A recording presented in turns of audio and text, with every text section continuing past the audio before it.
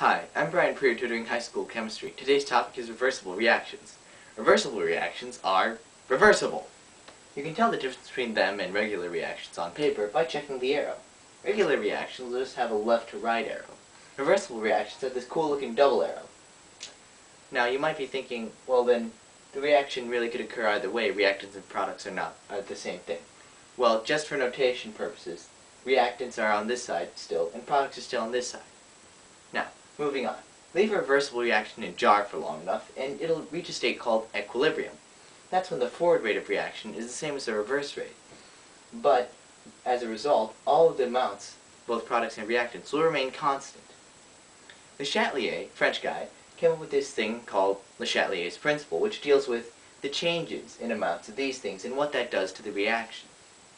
An increase in concentration will force the reaction away from that increase. Like say back up here. If we suddenly dumped a whole load of H2 on our reaction, it would shift away from the increase, creating more H2O2.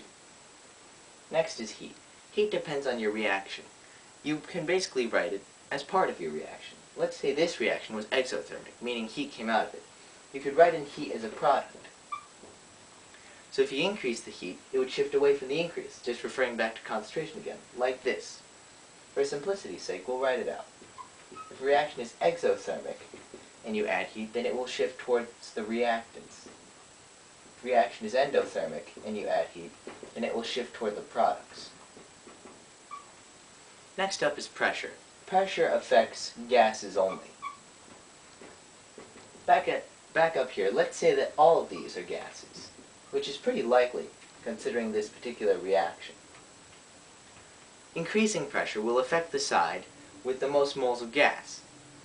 This one has two moles of gas, one mole of H2 and one mole of O2. This side has only one. If you increase the pressure, it'll shift away from the side with the most moles of gas, this one. So it'll create a lot of H2O2. Last is the catalyst. Catalysts affect both forward and reverse reactions in the same way, so no net effect. To recap, reversible reactions are reactions that can occur both ways. They're reversible. They'll have this cool double arrow thing.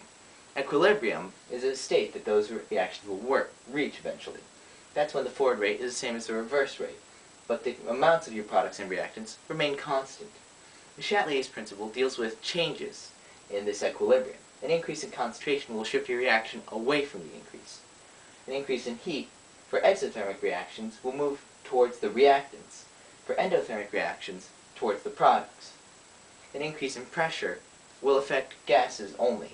Look for the side with the most gases, and that's the side it'll increase on, and therefore move the reaction away from. Catalysts have no effect. Alright, that's all for now. Again, I'm Bryant Preer. See you next time.